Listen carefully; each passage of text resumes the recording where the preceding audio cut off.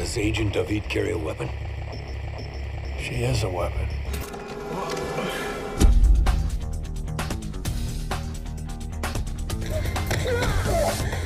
Ziva David, Mossad. I'm sorry for this. As am I. I was talking to you.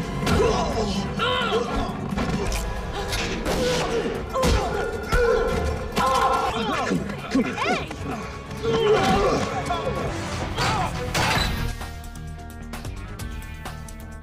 not so fast. I always drive fast. You are aware that I've never performed an interrogation without inflicting some sort of pain. Why would I lie to you when you threatened to kill me? It is not a threat. I will kill you.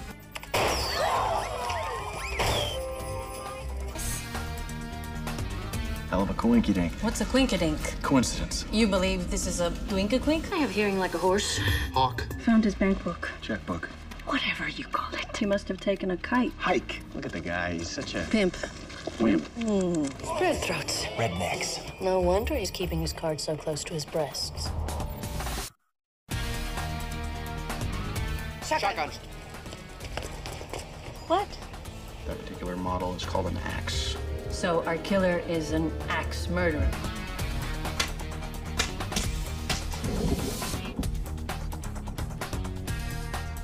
I pass the exams, I will officially become a citizen of the United States of America. A terrorist is only as strong as the fear he creates. I want something permanent.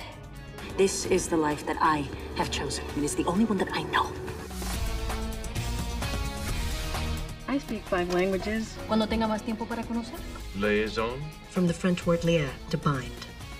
Avazelo me shekavano. Ani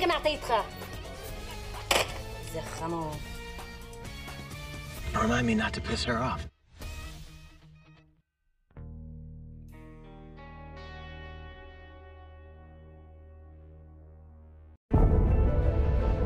Look, Ziva David is dead.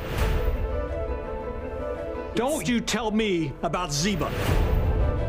Every time I look at that desk, you know what I see? She is not there. Hello, Gibbs? Where you been? Come. You're in danger. Hold up! I just want to know who we're running from. There's a woman. Her name is Sahar. She wants me dead, and now she's after you. Who is she? I do not know. I've never seen her. The person who Gibbs is with, it's Ziva. She's alive. Ziva David is freaking alive? I think I, I think I need to sit down. If you had the chance for one more minute with your daughter, wouldn't you do anything?